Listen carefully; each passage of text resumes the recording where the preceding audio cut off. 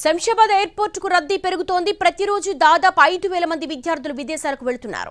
దీంతో వారికి send off ఇచ్చేందుకు కుటుంబ సభ్యులు స్నేహితులు భారీగా వస్తూ ఉండడంతో రద్దీ విపరీతంగా పెరిగిపోతోంది. ఒక్కో విద్యార్థి వెంట సుమారుగా నలభై నుంచి యాభై మంది వస్తున్నారని పోలీసులు చెప్తున్నారు.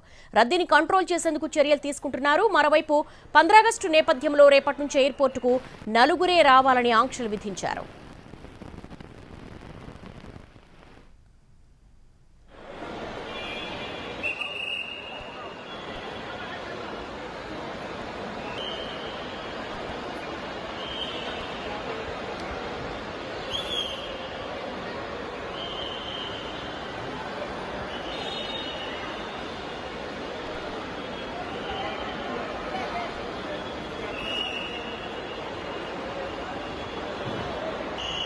వీఐపీ కాదు మీరే.